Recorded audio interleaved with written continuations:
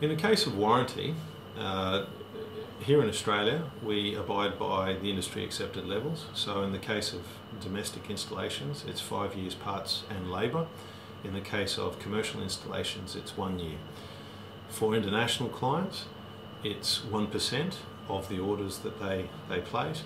And so, therefore, the reason for that is that historically uh, the manufacturer has found that that is reasonably generous. We certainly can attest to that, that in the entire time that we've been doing business with the manufacturer, we've had less than 1% warranty claims. And so, therefore, if, if you're receiving 1% of parts, or for that matter, uh, a whole system um, per shipment, it's reasonably generous.